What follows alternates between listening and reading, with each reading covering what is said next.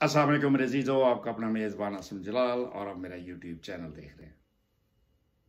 मेरे हम वतनों, निकाह के बगैर बच्चा और इलेक्शन के बगैर वज़ी अजम पाकिस्तान बन जाना, ये दोनों रिकॉर्ड शरीफ ख़ानदान ने तोड़े हैं। और ये दोनों काम कैप्टन सफदर और जनरल बाजवा ने सर अंजाम दिए हैं। और ये दोनों को जिल्लत और रसवाई के सिवा कुछ नहीं मिला। और हमारी सारी पाकिस्तानी कौम इनको बद दुआएँ दे रही है कि है मेरे अल्लाह, इस जनरल बाजवा को इबरत का निशान बना दे। और फिर जनरल लोधी ने एक नया इंकशाफ किया है कि इमरान खान एक सच्चा आदमी है, सच्चा लीडर है। जो कहता है कि खुददारी से पहले कोई चीज़ नहीं है। और अमेरिका कभी भी पाकिस्तान को अपने पाँव पर खड़ा नहीं होने देगा।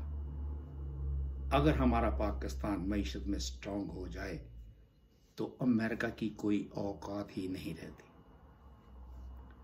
अगर ये अदम एतमाद कामयाब ना होता तो शायद हमारी पाकिस्तानी कौम को ये कभी पता ही ना चलता कि इमरान खान इतने मुश्किल हालात में पाकिस्तान को कितने अच्छे तरीके से चला रहा था।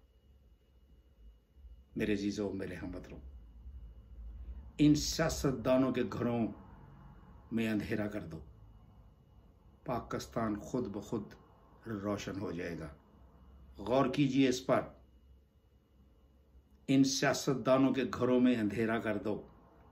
पाकिस्तान खुद ब खुद रोशन हो जाएगा। अब तो अंग्रेज़ भी इमरान खान की फेवर में मैदान में उतर आए हैं। और इस इम्पोर्टेड हुकूमत के खिलाफ उन्होंने यूरोप में एहतजाज करना शुरू कर दिया है। इससे पहले पाकिस्तान की तारीख में दो नामूर वज़ीर आज़म गुजरे हैं। जनाब खाकान अब्बासी ने अमेरिका के सामने अपनी पेंट उतरवा दी।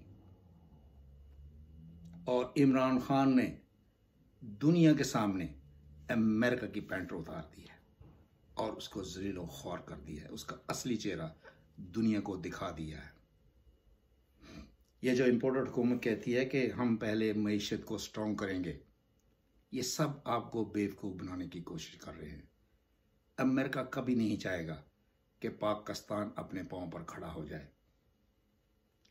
अगर पाकिस्तान की मीशत स्ट्रांग हो जाती है तो अमेरिका की एक टके की औकात नहीं रहती। और यही अमेरिका की हमेशा पॉलिसी रही है कि जिस मुल्क को भी उन्होंने तबाह बर्बाद करना होगा, पहले वहाँ के गद्दारों को ख़रीदते हैं, उसकी मीशत को तबाह बर्बाद करते हैं और फिर अपनी मनमानी करवाते हैं उनसे।